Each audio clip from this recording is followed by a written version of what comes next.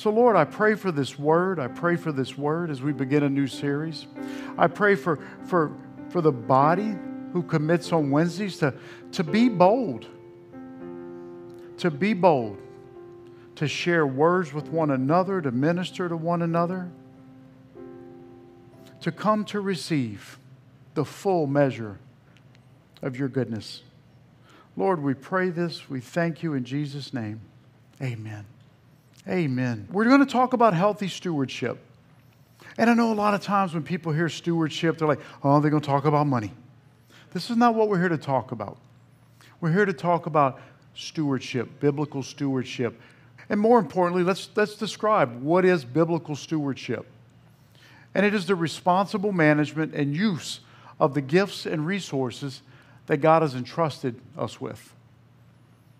I really want you to start to, to dig into what it means that God trusts you with everything, everything that He created. God created in the garden the mechanism to recreate, to replicate, sowing and reaping. God's not still in the business of creating. It's all recreation based on our stewardship. And this is why when we say the gifts and resources that God has entrusted to us, God trusts us with everything. It means utilizing and managing all the resources, both financial, the blessings, and the spiritual gifts. Everything from our relationships to our friendships to the clothes on your back God expects us to be good stewards of everything. So I want to get into this series, and, and I want to, we're going to be a, a good stewards of time as well. But you know, I want to go over these key verses. I think these are, are paramount. Uh, they're going to they're going to stretch from Old Testament to New Testament. And, and, and I will. I'm going to ask again, and I'm going to keep stressing this. It's just that, that hashtag church culture when you mention stewardship there, there's a connotation of giving. And that should never be a negative thing because God wants you to steward your money as well. But I want you to, to be open to the full expanse of what stewardship means, to the full understanding that you do have dominion and authority over everything. Even if you feel powerless right now, or maybe powerless in a certain circumstance, understand that you have dominion and authority over all things. So I want to walk through these scriptures to kind of lay the foundation. And the first one, it's uh, 1 Peter 4.10. There you go. And I just want you to, to let these, these scriptures, this is the word of the Lord. Let it saturate your mind. Steward your soul well. Steward your soul well. Being here for these equipping classes is stewarding your soul well. You are retraining your brain, renewing your mind with the word of the Lord. This isn't some feel good, get fuzzy type of class. This is based on the word of the Lord. These words will transform your mind, they will transform your life. But 1 Peter 4:10 tells us, as each one has received a gift, minister it to one another as good stewards of the manifold of grace of God. See, we're an equipping church. We're in Ephesians 4 11, 12 church. We are here to equip the body to do the work of ministry, to edify the body. And God gives us gifts. We all have gifts of the Holy Spirit. It's not if we have gifts, it's which gifts do we have. So we all have gifts of the Spirit. And it's to, to make that decision of whether or not you want to minister that gift. And how do you want to minister that gift? But we're called to be good stewards of those gifts that the Holy Spirit gives us. So then we go to Genesis 128. It said, Then God blessed them, and, and God said to them, Be fruitful and multiply, and fill the earth and subdue it, have dominion over the fish of the sea, over the birds of the air, and over every living thing that moves on earth. This is God's call to you. We've talked about exousia, in the Greek. It's the legal authority to operate and move in the power of God. You have the legal authority. God has given you authority to have dominion and authority over everything. What the devil will tell you is that you've got power over nothing. You don't have authority over nothing. Who are you to have dominion? Well, I'm who God says I am. And God says you have dominion and authority. Genesis 2:15. Then the Lord God took the man and put him in the garden of Eden to tend it and keep it. This is stewardship. Everything in the garden was his responsibility. Even the mosquitoes and the, and the little creepy crawlies, that was his responsibility to steward that well. It is our responsibility to steward this well. 2 Corinthians 9, 6, 7, the cheerful giver. But this I say he who sows sparingly will also reap sparingly, and he who sows bountifully will also reap bountifully. So let each one of you give as he proposes in his heart, not grudgingly or of necessity, for God loves a cheerful giver. And you know, because of you know, churchiology, when we're thinking about being a giver, we're thinking about money. But what about giving of yourself? Giving of your time, giving of your attention, giving of your, of your gifts.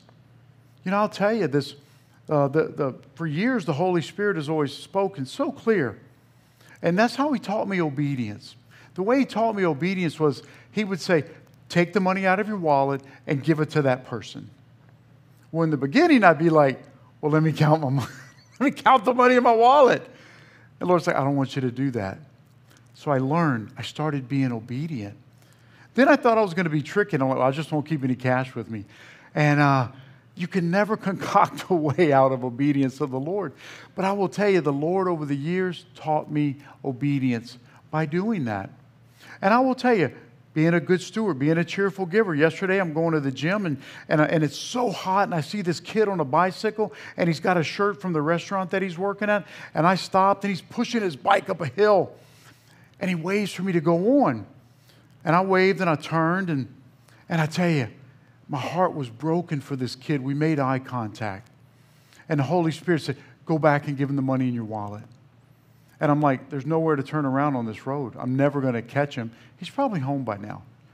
And boom, there was a turn to the left, and I whipped around and I pulled the money out of my wallet. And, and I turned back and I start chasing this kid down. And, and, and I, I stopped him, you know, and I just said, Hey, uh, no tricks, no games. The Lord told me to come and give you the money in my wallet. And I, rightfully so. He was a little hesitant, you know, and, and I just said, no tricks. God loves you. God loves you. And, and look, we started a conversation and sharing about the love of God and being obedient to the Holy Spirit. And, and, and you know, I walked up, I realized that I was more blessed than he was. It was an opportunity to steward well. Whatever money was in my wallet, to give to him cheerfully, to steward my time I was like, well, I got to get to the gym and I got to get back. And no, my time's God's time. Make your time God's time. When, when 2 Corinthians is talking about being a cheerful giver, stretch beyond money, stretch beyond what we naturally resort to. Think about stewarding. Like, whose lives are you sowing into? Whose lives are you sowing into? if you're not sharing the gospel and you're not reaching out to people and, and ministering to them, then that's what you're going to find in return. You can never outgive God. You can never outgive God. Uh, Colossians 3:23, another foundational scripture. And whatever you do, do it heartily, as to the Lord and not to men. Always do your best. Our, our old pastor at our church in Louisiana, if you're going to scrub toilets, be the best toilet scrubber you can be. Everything we do, God expects excellence. Not perfection, excellence. He expects us to do our best. Steward your gifts well, steward your efforts well. Luke 16 11. And if you are untrustworthy about worldly wealth, who will trust you with the true riches of heaven? See, so many people, when they, they go back to Genesis and they're like, well, I was told I had authority over everything and dominion, but I don't have nothing. What are your stewarding skills? Can you be trusted with great riches? Can you be trusted with other people's souls? We're in the soul care business. This is what stewardship is about. It's teaching us to care well for the things that God entrusts us to. So, the big part that the thing we're going to talk about today is who's the owner? Who is the owner? This is a question that, that, that trips a lot of people up. And, and it got me for a while. You know, I'll tell you, I was well accomplished, not financially, but I was academically and in my career and, and athletically. And, and I'm like, well, I worked for it. It's got to be mine. And then the Lord started to deliver me from that mindset. It wasn't a demonic mindset, it was just a little misinformation. I didn't understand true stewardship, I didn't understand who was the owner. And when you come to realize that it all belongs to God, it frees you, it unburdens you, it liberates you. Like to, to experience the full blessing of God in our lives, we've got to fully understand who's the owner. God owns everything. Like it can be a challenge to fully recognize that. Because we do, we get wrapped up in the whole thing. Well, you know, I work to get it. I'm going to do what I want to do. It's mine. And then you're always finding yourself short on the other end. These kids, these are our kids. We're going to protect them. We're going to take care of them. We're going to this and that.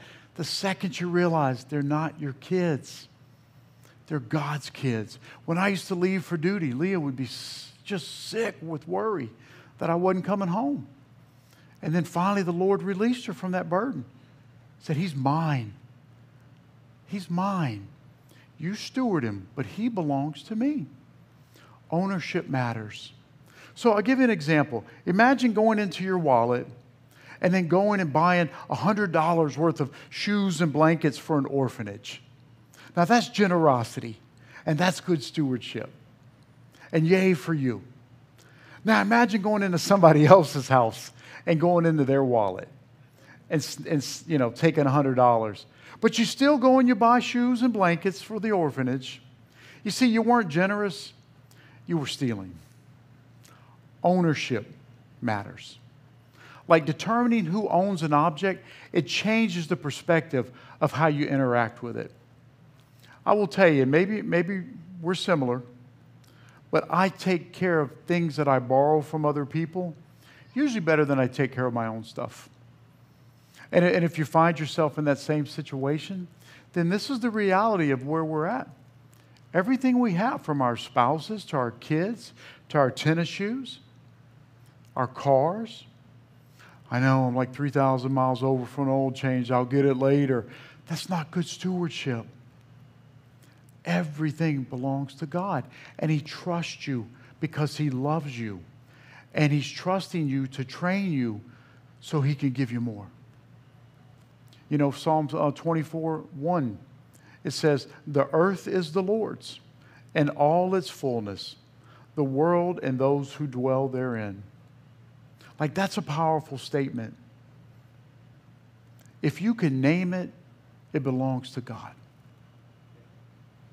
The principle of ownership is the foundation of biblical stewardship.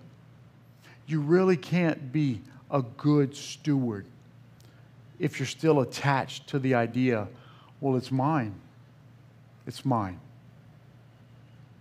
Your gifts, your ministry, your own life, everything belongs to God. And so that should be liberation because I will tell you, God will always take better care of everything than you will. God wants you to learn how to care for what He's entrusted you with. And what's important, uh, what I believe, when I really prayed about this biblical stewardship series, is that the whole year we've, we've focused on health. A healed church is a healthy church. And we've gone through uh, deliverance training and healing training and, and the way that God looks at us, the way that He sees us. And I believe we're at a point where the next step is to be healthy, is healthy stewardship. You know, it's so important to get these principles into your heart so that it begins to impact your actions and your relationships and your ability and your ability to multiply God's provisions. You see, before I, before I understood the, uh, this principle, I really did. I kind of thought things were mine because I worked hard. I was in a performance based relationship. As a kid, I guarantee you, most of us grew up like that. You wanted to please your mom and dad, so you did what they said make good grades and be a good boy, right? Don't interrupt us when we're talking, be a good girl. We were working to earn somebody else's approval. And sometimes those snippets of approval were really all we ever had. So we learned to get in this mindset that we've got to work to earn, to achieve, to accomplish. And God wants to re, He wants to renew your mind. He wants to transform the way you think. He says, You don't have to work so hard, Brenda. It's yours. I love you. I give it to you. Ray, you don't have to work so hard. I love you and I give it to you. I give it to you freely. When we come to understand that it's all His, and Scripture affirms that it's His, it really changes the way we approach everything. So I'm asking you to, to really focus on releasing that grip. Releasing that grip. And that doesn't mean that you're careless and reckless with you, what God trusts you with. Oh, I'm going to release it. I'm going to give it all away. Unless the Holy Spirit tells you to give it all away, that's not what God's talking about. He wants you to be blessed, He wants you to be abundantly provided for in peace and joy and friendship and relationship, as well as financial provisions and security. But it's really when, when you get out of that mindset, when you drop the pride of ownership. You see, I was getting nowhere back in the day except deeper and deeper in indebtedness. Not financial indebtedness, but indebted to the university that I was going to, indebted to the sport that I was participating in, indebted to the career that I had to rise to the top of. You see, James 4 6 tells us, but he gives more grace, but he gives more grace. Therefore, he says, God resists the proud, but gives grace to the humble. Now, we've talked about this before. If, if you find there's any resistance to, to being a good steward, if you find there's any resistance in your life about being a cheerful giver, and not just financially, but, but if, the word, if the Lord's giving you a word of knowledge, and He says, hey, go, go share that with Anna. Mm, no, I don't really feel like it right now. Like you're being resistant to the movement and the prompting of the Holy Spirit. What will happen is God will resist you. We've talked about this before in, in the healing and, and the, particularly the deliverance. So I want to I want to lay this out. In the Greek, the word resist is antitasso, and I think we put it up there. Okay? And what it means in the Greek is that God resists you. If you were being proud or pride, well, I worked for that. I earned that. You know what? I've worked hard. I don't feel like coming on Wednesday. That's my time. That's cool. But if you're resisting God and letting go, this is what antitasso in the Greek is. It is to post an adverse array as an army, to set oneself in opposition. Like God is not attacking you, but God is just put up a stronghold, a fortress. And as much as you push, as much as you strain, as many hours of overtime as you work, you're not getting through. So, how do you break through? If you're finding trouble in your finances, if you're finding trouble in your relationships, if you're finding that you're having trouble in your ministry, how do you break through that impenetrable wall? Well, it's the opposite of, of resist. It's surrender. In the Greek, it's hupotasso. And this is a military term. It means to arrange troop divisions in a military fashion. It's, it's submission, two words, sub, putting yourself below the mission. In a military, if we say we've got to attack that hill, well, if you're over here saying, well, I don't feel like attacking the hill, I don't feel like submitting to lawful orders, then you fail and the mission fails. If you, if you find that you're finding resistance in everything in life, in anything in life, really pray about it. Am I resisting the prompting of the Holy Spirit? I will share we, we've talked about the, the gift of tongues. And some folks say, I want to speak tongues, but I just, I just can't. And that's a gift of the Holy Spirit. And sometimes there's a resistance to it because maybe uh, it's a misunderstanding or it's just new or it's different. But, but whether it's a relationship or gifts of the Spirit or tongues, surrendering to that opposition is what, what breaks the ranks. So I really do. I want to challenge you and just give you some time to, to think about it. Think about what areas of life that you're, that you're resistant in, areas of stewardship. Is the Lord leading you to, to, to be more bold in sharing the gospel? But you're like, ah, man, my friends, they're my friends, but they're not going to be my friends if I keep talking about Jesus, you know? Well, then that's a choice you get to make. If, if it comes down to, to, to volunteering at the church, I'll put a little plug in for the volunteers. And you're like, uh, I don't know. I like waking up late and getting there right before worship starts but you're finding there's a little bit of resistance in your life. Really start praying about those situations where, where you've been looking for breakthrough, where you look like you're coming up against the wall. It could be an issue of deliverance and freedom, it could be an issue of healing, chronic illness. It's all about taking that authority and dominion, but it starts with good stewardship. So I do, I want to challenge you. This is what Wednesdays are for. This isn't a hoorah, roo-rah on Sunday mornings, and this is teaching. This is where special forces, spiritual warriors, come to sight in their rifle. This is where they come to sharpen their aim on Wednesday nights. So these are more intimate times, these are more self reflective times. So I do, I just want to challenge you to look at those areas in your life and realize it's all God's but God trusts you with it. But how are you treating it? You know, a lot of times, Leah and I, we, we do a lot of marriage counseling. And, and the, the, a spouse will be like, That's my gift. That's my gift from God. But you're treating them like dirt. You see, how are you stewarding the relationship with your spouse? The way you treat the gift reflects on the way you feel about the gift giver. How many people, thank you, Jesus, you gave me a brand new car and you see that car three months later and it's filthy and the engine light's on. Lord, thank you for giving me that job. I've been praying for that opportunity, but you're on your second tardy and you met with the HR director four times. How are you stewarding? Because the way you steward the gifts reflects on the way that you feel about the gift giver. I want you to, I want you to receive the blessing and understanding that God trusts you with his stuff. Parents, we're all parents. I mean, how much do you trust your kids with all your stuff? Now, as they grow and they mature, we trust them with more stuff. This is the same principle. It's the same process. Matter of fact, in trust, the slide, it means to put into the protection and care of another. This is what God's doing with us.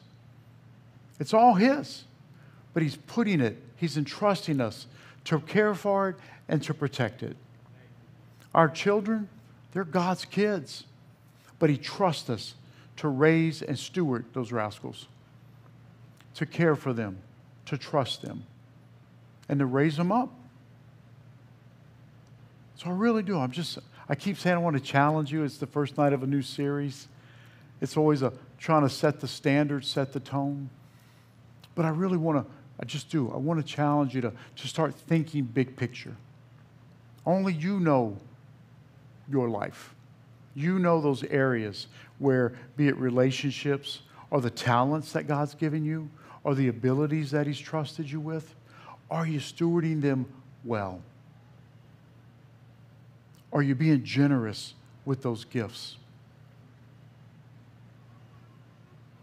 You see, it's so powerful to understand that you are the steward and that God is the owner. Like, if that doesn't take pressure off of you, I don't know it will. So I really do. I just, I ask, you know, when you think about when people trust you, when they lend you their tools or their vehicle or whatever it is, I would guarantee that most of us do that. We take better care of it than we do our own stuff. I want you to adopt and accept that reality from, the, from our kids to our jobs. Everything God trusts to us to steward. And you know, people, sometimes the harsh reality, and people like, well, well, you know, I don't have nothing. Like, where's all this blessing? Where's all, all these flowing waters of rivers of abundance? And listen, the truth is, is that God can only give to you once He can trust to give through you. You're looking, not you, people are always looking for this anointing, this gifting. They want to do miraculous things. But when God gives them a gift, when God gives them an opportunity to share that gift, to steward it well, and they choose not to, see, God doesn't bank up a bunch of credit in an account that's never, that's never spent. God will give to you when He can trust to give through you. Because you cannot outgive God. You start giving your time and your treasure and your talent, you will see that abundant flow of God's provisions come in your life. There's only people, oh, there's only 24 hours in a day. Well, how do they get so much more done than I do? Because they're good stewards of their time. They're not worried about capturing a second-hand clock that never stops ticking. So this is the truth when we ask ourselves, well, why didn't God give me more to manage? He's not going to overburden you. He's going to protect you.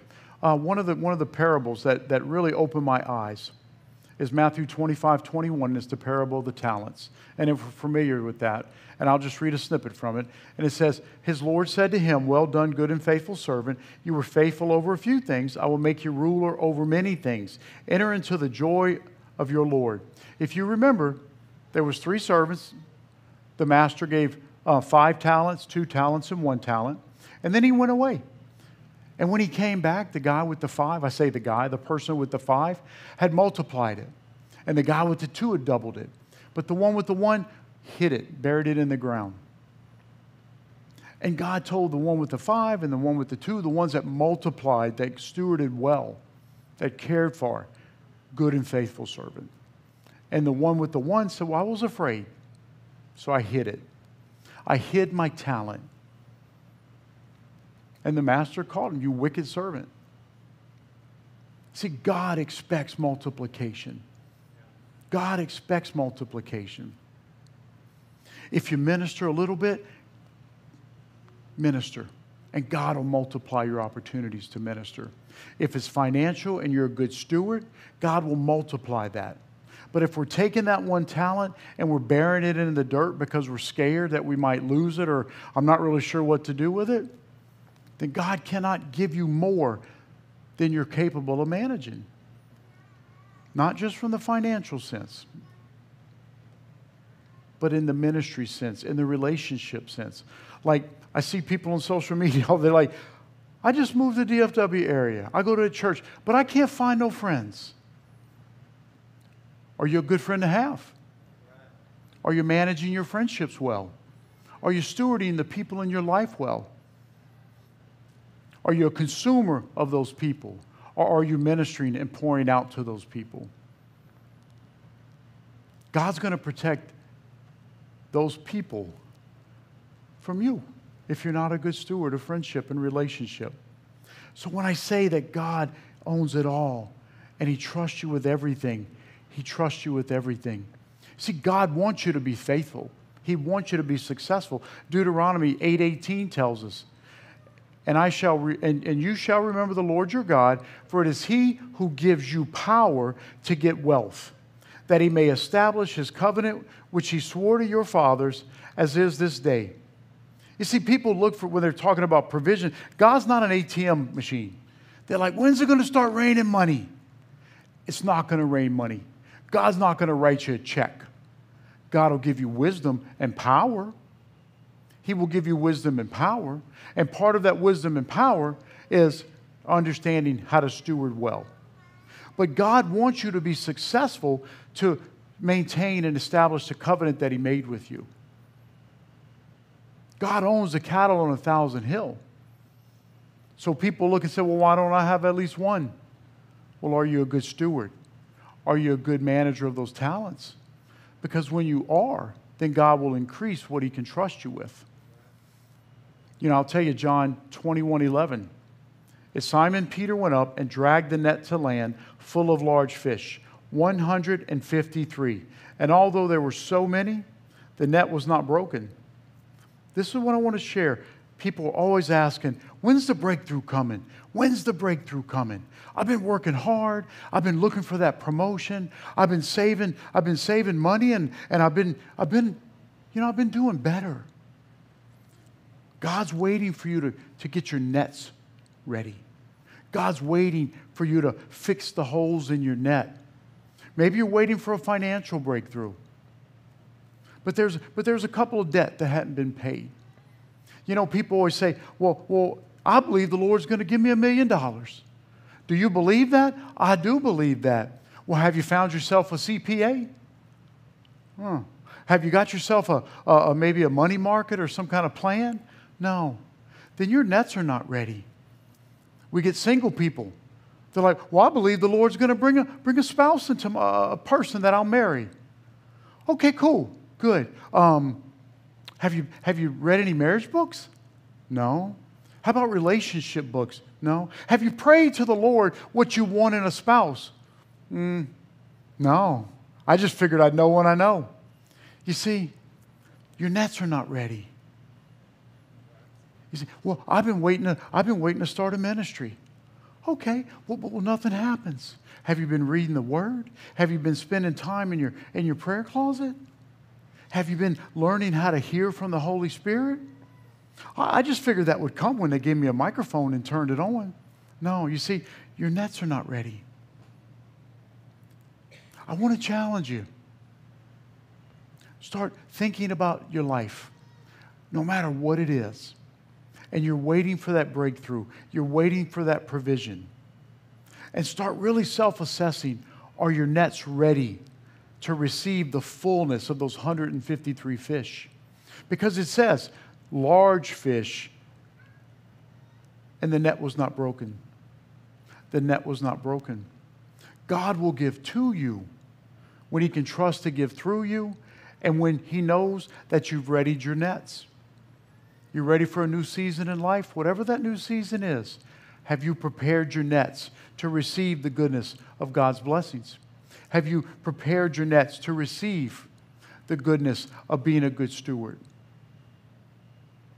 These are some of the, we talk about renewing our minds. And these are some of the challenges that, that we really have got to think about. It's easy to just kind of bumble and stumble through life and let things just kind of work out. But God doesn't want us to bumble and stumble. He wants us to be intentional about our relationships, about our friendships. He wants us to be intentional about our, our clothing, our health, about everything. God expects us to be intentional. And as He sees that we're better at it and that our tensile strength is stronger, then He'll give us more. And then He'll give us more because we've become good biblical stewards. We've learned what it is to understand healthy stewardship. So that is the end of tonight's lesson. Who's the owner? So if we can stand for, for the prayer. So, Lord, we thank you. Lord, we thank you. Thank you for entrusting us with everything that you first created. I pray that we, that we focus on stewarding our relationship with you above and beyond all. I pray that we steward our souls well by renewing our mind, transforming our mind. Romans 12, 2. That we do not, that we do not let the trappings of this world control the way that we think and that we react and we respond. That instead that we renew our minds with your word.